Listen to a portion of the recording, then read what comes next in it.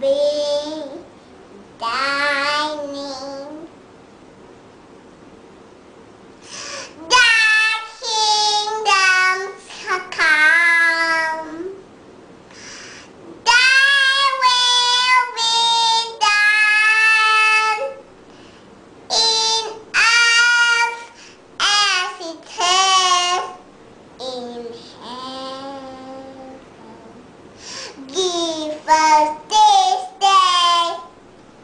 our daily bread and forgive us our debts as we forgive our debtors.